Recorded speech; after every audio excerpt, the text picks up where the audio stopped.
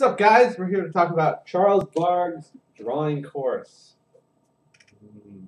Charles Bargues was a dude who was around in the 19th century, I guess. He worked a lot with this guy, Jean-Léon Gérôme, on a drawing course. They came up with a series of plates that they recommended students copy from. These were originally 18 by 24 inches, and you would copy them exactly. It used a couple of uh, novel ideas that I prefer over like a grid transfer, and I think they are really good for training your eye. So once you've done a few Charles Bargue plates, you can imagine this is like a painting canvas, and over here is like a mountain scene that you're actually looking at, or a person that you're actually painting at. And in the same way that you can transcribe one piece of paper over here, you can transcribe reality onto this. It's freely available. It's Creative Commons. It's like super old. It's broken up into a couple of sections. The first is these basic plates, which have this simple idea of how to start your drawing and then how to get fine finish. The next is on art history. I think it's so important to copy from the best artists in the world because initially you compare yourself to them and then you feel bad and you, you lay down and you take a depression nap. But then you study them, you try and absorb their methods, and you become a better artist as a result. And then lastly, they have a few treatises on how to approach figure drawing in the real world. Let's talk about materials. I have a giant cup of coffee. That's number one. Don't mix your coffee cup up with your paint water. I've also got a ruler.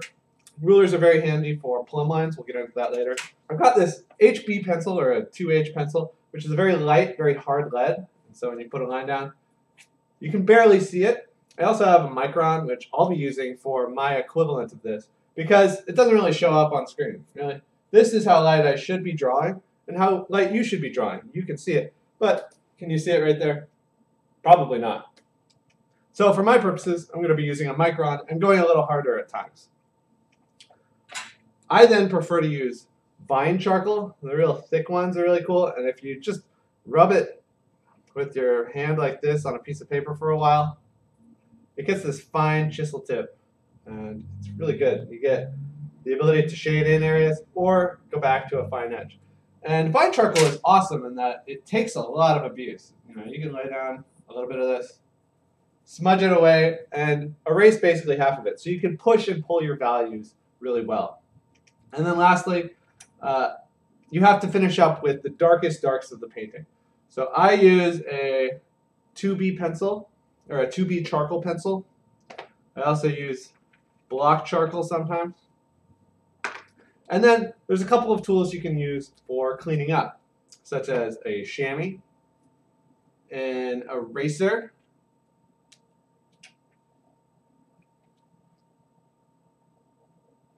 There's a couple other tools I have. This is another kind of eraser. Kneaded erasers, kneaded erasers are always needed. And these are really fun because you can just pull them and they get really soft and it's just a tactile sort of ASMR thing. Mm. But you can also whittle these down with your hand into a fine little point. And it's really good for just picking out details. And then, of course, just blurring with your fingers is great. Using tissue paper is something that I'm going to do as well. And I really love this like makeup sponge. So, you know, go find your partner's makeup kit, cover it in charcoal so it's never usable again.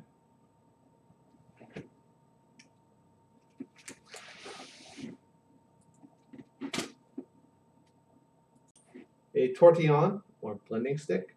It's just rolled up paper It's very good for fine details. You can actually cut this with a knife as well. You can see a little bit of that where I've trimmed it down.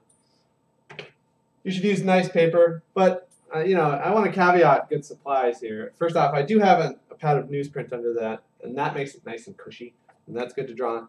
But I don't think supplies are too important when you're starting off. Uh, you know, I remember being a kid, and when my elementary school started recycling in second grade, we could just dig through the recycling bin and take as much paper out as we want and take it home and draw on the backs of math tests and stuff. It was probably a FERPA violation.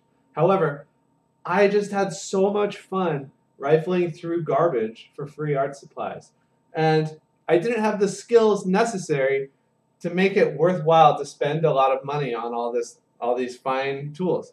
And I don't think necessarily that I still am. I think, you know, developing skills is more important than hoarding supplies. So don't necessarily go to the art store and break the bank. So let's get started. So the first thing that we want to do is get a single line that's going to represent uh, a guiding light for everything that we do. And again, I'm going to use a micron, even though it's going to mess up the values. But you can see it on Charles Bargue's guide here, which is this line going straight through here. And I can reasonably assume I can make this straight up and down. Uh, it's good to do this with your uh, art on an easel so that it's oriented towards you. Otherwise, you'll get perspective distortion. And also, like, you can't really compare and contrast. And also, this is going to train you for stuff that painting is going to use later. You never paint necessarily by looking down on it, right? You're at an easel with paintbrush. So I'm going to start with that guide, and I'm going to try and make it about equidistant. The great thing about having similar supplies is you can just cheat. So I can reasonably assume it's right there.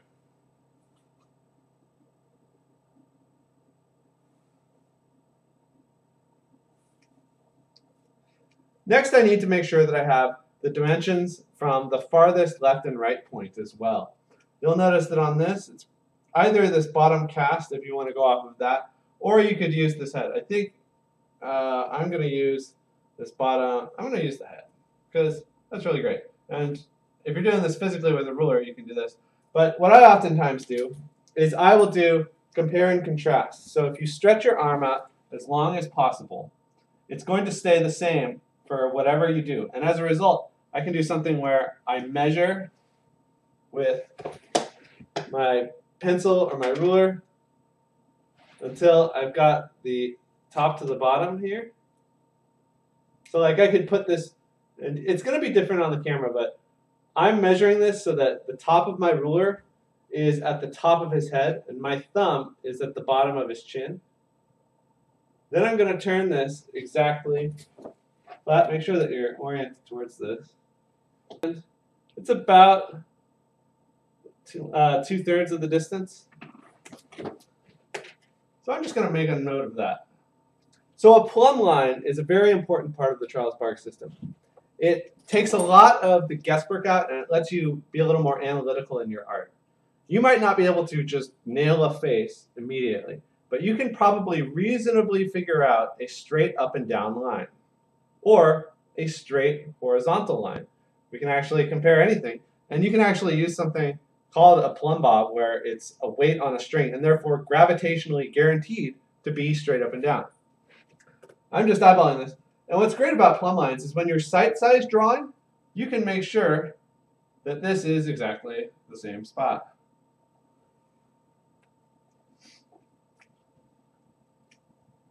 Technically, since we're sizing, we could also cheat even more and measure it. So this was an 8 inch-ish line. Mine is a little too. So I think mine is like there. So let's figure this out. So this line is about 8 and 1 millimeter. And I want this to be at the 4 millimeter.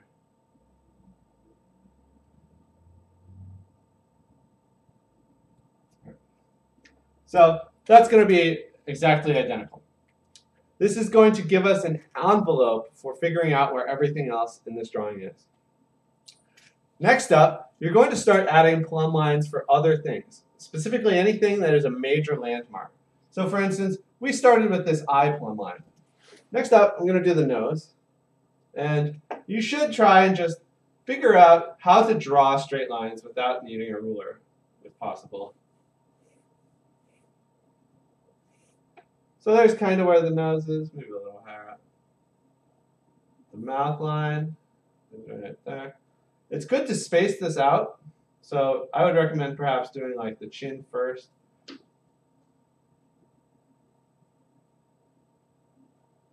And these sort of marks are going to make sure that you stay in your lane. It really sucks when you draw an eye and you're not planning ahead and you get feature creep and suddenly your eye is too big and it's drifted into your nose and then your nose ends up down here. And so you keep letting everything lengthen or shorten until the head looks like nonsense. We know that his chin is going to be here, his mouth is going to be here now, and his nose is going to be there. So next up, I'm going to start drawing using the Charles Bargue system, which tries to break things down into only points, lines, and planes. We're starting with the points. And I actually am going to use my 2B pencil or my 2H pencil. And I'm going to try and always use a an arcing motion of my arm so that my lines are very straight.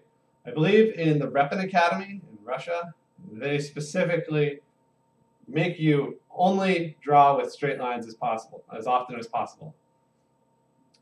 And I'm going to start by trying to figure out where these features are. And it can be like big ideas. I'm also going to start using heads measurements. Heads measurements in my system is more of a metaphor than an actual head. When you figure out that how big the human body is, you measure it by the number of heads oftentimes when you're starting off. You can use anything as a metaphorical head. So for instance, the distance from the nose to where the nose ends, where his beard is, is about the same distance. So if I figure out that the nose is like that big, you can say the cheek is right there. There's also about a nose's distance from there to the hair. And the hair lands somewhere around there. So in other words, point number one, point number two, point number three.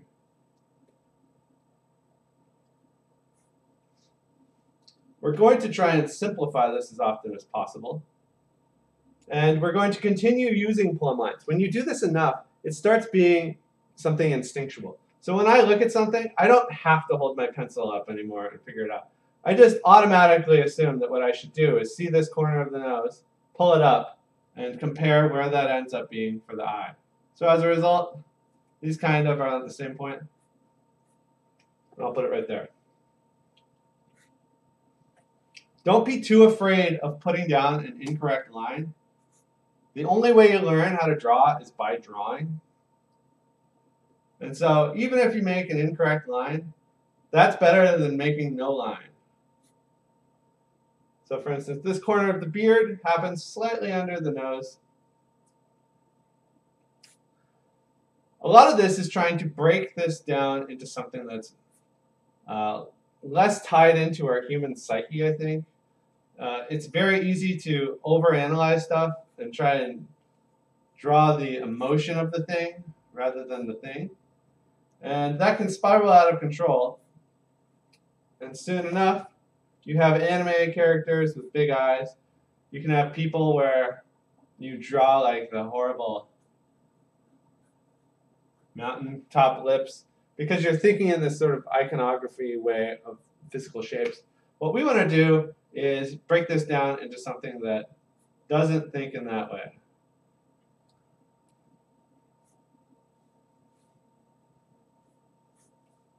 So a lot of times I'm trying to figure out First off, if I can at least get it right on the x or on the y-axis, how high up and down it is, then I can figure out other things about it. So I know that this beard line happens here. I know that this one happens right around here. I don't know if this is the right length of line or if I went too far, but I do know that it intersected that starting plumb line in the right spot.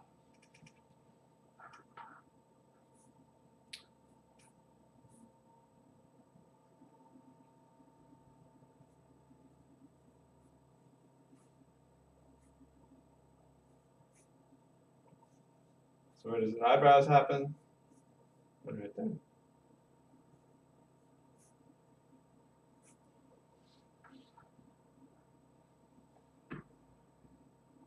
Where does this happen? Where does the end of his hat land?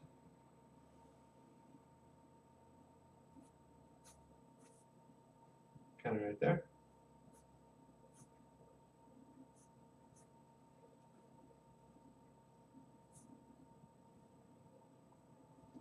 So Jean-Léon Gérôme, one of the other people who worked on this book, was, I believe, one of the major artists at École de Beaux Arts. I'm saying that wrong, probably. in France, but it produced some of the best. That's, it was a school that produced some of history's greatest artists. And supposedly, it was a bit of a, you know, a boys' club, and students who were seniors could really abuse the freshmen. You were allowed a place in the figure drawing room based on your seniority, and younger, uh, older students would sit right up front, and they would put up like a six-foot canvas, so the younger students couldn't actually see the model at all. And they would, you know, cause all sorts of animal house pranks. But uh, John Leon Gérôme, who was a very militant, strict teacher, he would enter the room and everyone would shut up and just like the lesson was started and no more fun was allowed.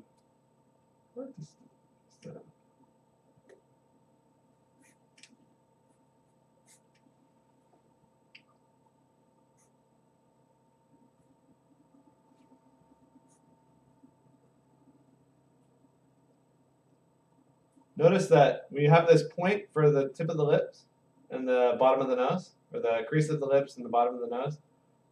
His beard comes slightly above the halfway point. So if I make that mark there, that tells me where I start for this stuff.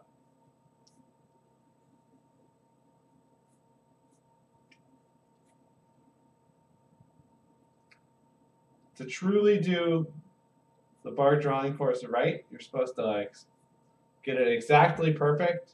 Some artists spend like a whole year on a single drawing.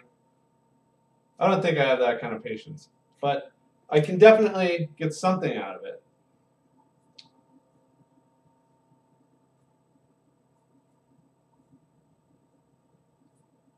Now, after you get these basic figure points in, again, notice that I'm mostly using points in space and lines.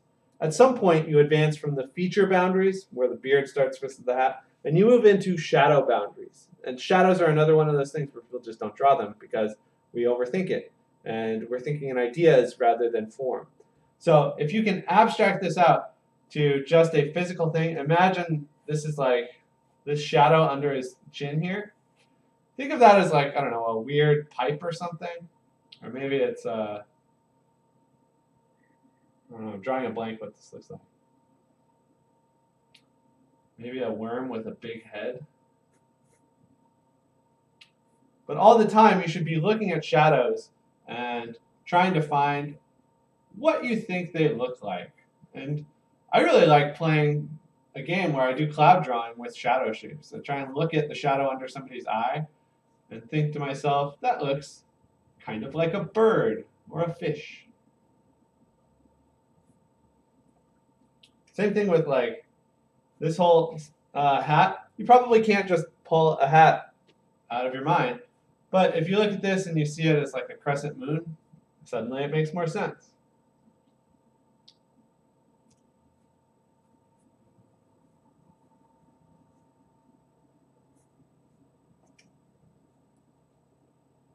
I started that one a little too far.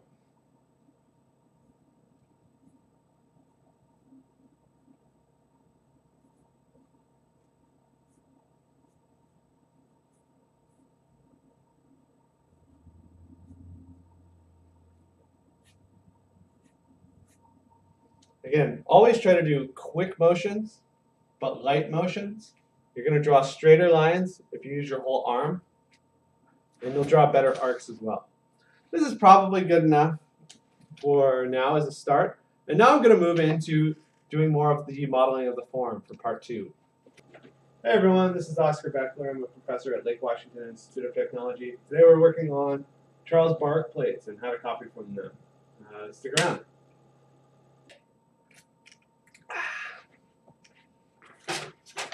So next up, let's advance.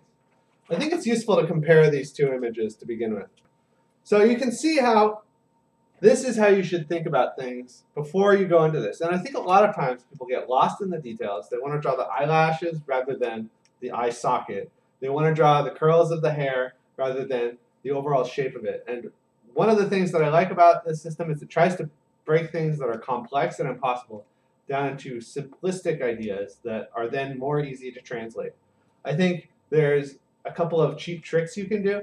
If you just take your glasses off, I mean, depending on if you have glasses, everything gets kind of blurry, and suddenly these shadow shapes become very easy. What you can do if you want to try testing this is try taking an image into Photoshop, blurring it, or take a photo with that's out of focus, and then try and draw an outline of the shadows or any value change that goes from dark to light. So I'm going to switch to my vine charcoal. It's got this nice fine point, but it also has this flat edge. And this is where the shadow modeling comes in. And what I love about this Charles Bargue system is we just have this paint by numbers kit now where we can sort of flood fill this with uh, shadow colors. I'm going to start on the top.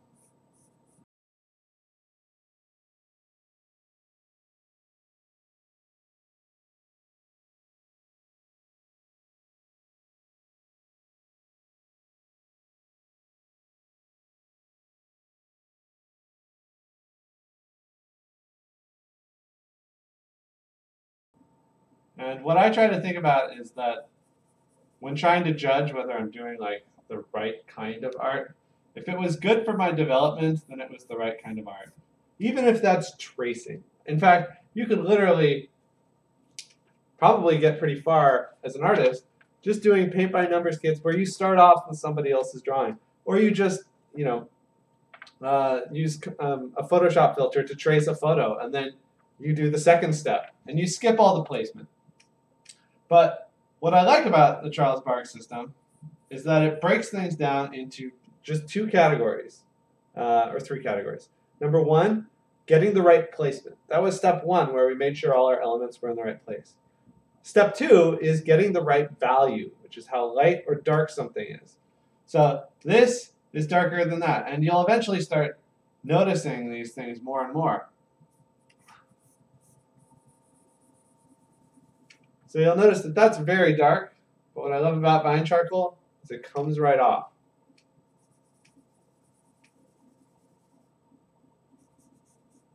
So what I want to do right now is look at my drawing versus Charles Bargue's drawing and ask myself how close I got in placement and value. And then the third one is just edge quality. So this here this is a hard edge boundary. Where an object ends is oftentimes very hard. And then as the shadow dissipates in the penumbra, it has a soft edge. So for instance, what I can do here is draw down into that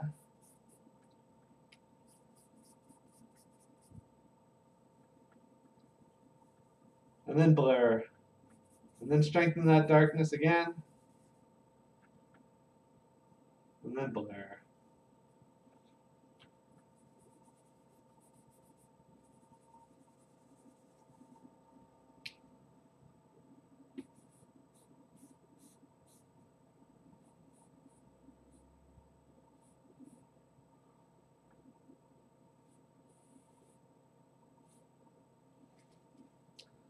I think you can look at art as two separate philosophical issues.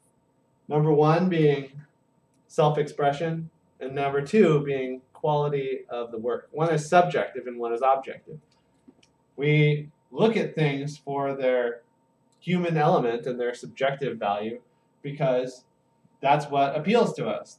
And we want to know what culture this came from and who made it and what the story behind it was. Why were they obsessed with dinosaurs or whatever? Do they have a cultural background that matters? And are they using a medium in the way that people have traditionally done it? And the other thing is objective. Did it accomplish its goal? And if that goal was to represent life, mimesis, as the Greeks called it, and accurately transcribe what you were looking at, how well did it accomplish that goal? I think anything with a character or a face to it I think that there are objective values that you have to look for in an artist. Why do art if you're not going to do it well? And if your goal was to actually do it the right way. I mean, if you take an artist and you subtract objective skill, what you have is somebody who can post good opinions on Twitter. And a lot of times you have people with great objective skill and they have nothing cultural to say. Those people also suck. So your goal as an artist should be number one, always eat your vegetables, always do your morning push-ups, brush your teeth every night, metaphorically speaking. Also in real life, you should brush your teeth every night.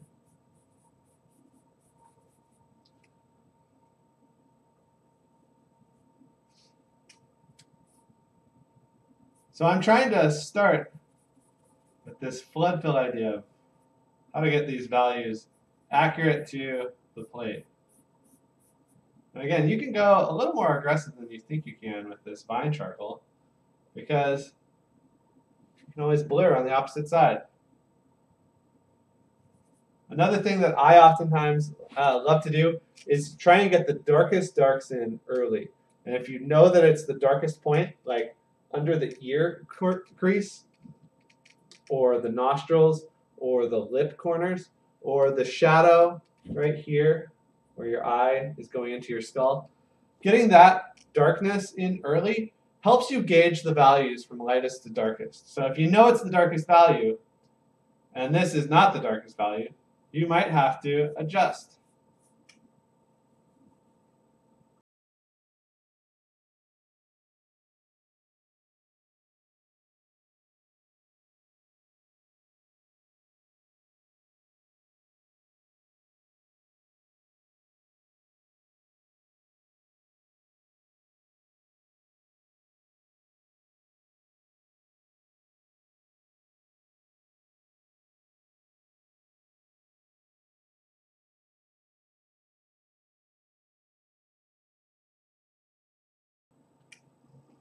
What's great is I can turn and look at this on my computer monitor, and that's like the equivalent of stepping back and viewing it from afar. And by the way, you should do that. Step away from this, go to the other side of the room, view it from afar, and you'll suddenly be able to see the values and the big problems a lot easier. So when I look at this from afar, uh, the big problem I can immediately see is this needs to be darker.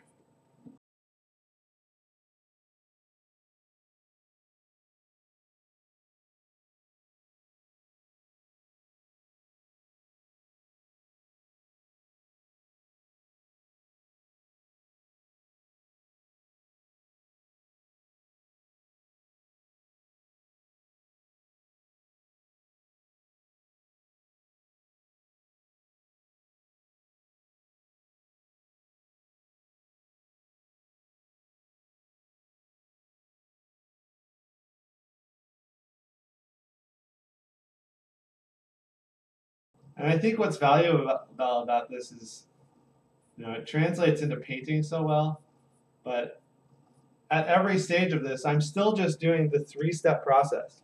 Did I place it in the right spot? Did I get the correct value? And did I make it the correct edge quality? Is it soft or hard or textured?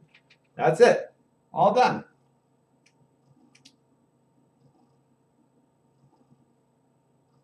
I gotta stop being a coward about this left eye. Let's just do it.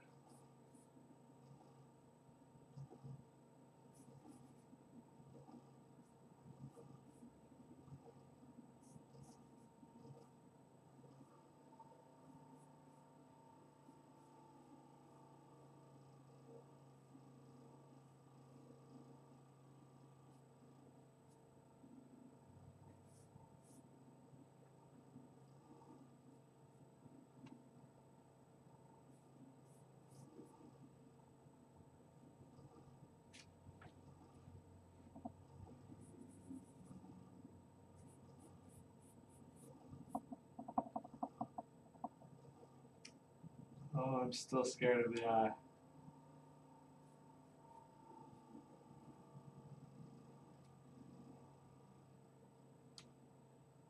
Here's the mind killer.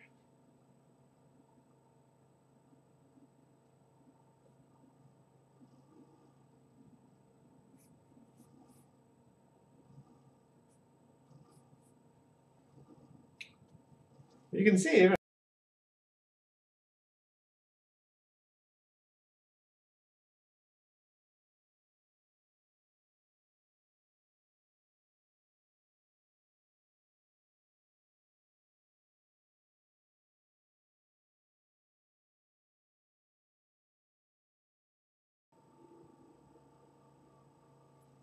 At some point, perhaps, I'll switch over to my tortillon.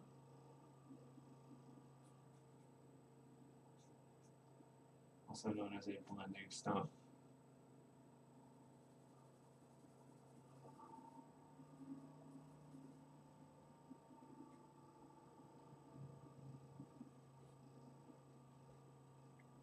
So what's cool is if you get this dirty a little bit, it ends up being something that you can smudge that dirt around after the fact with some amount of consistency. So like if I need something that's like at a middle value, but I need a fine line of it, I can just get this dirty, put it down slightly darker.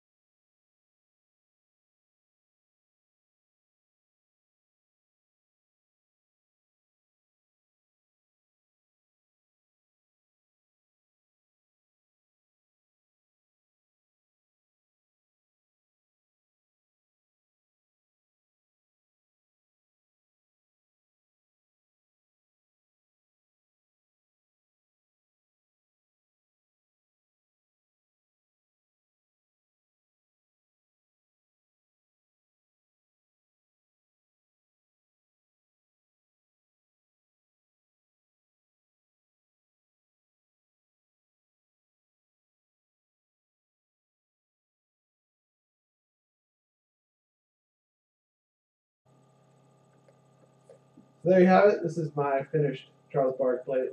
Obviously, you can keep going on these forever. You can find intricate details in the hair and keep going and going and going and going. Uh, this is at a good state of done for me because I have to go to sleep. But I hope this was valuable. Let me know what you think.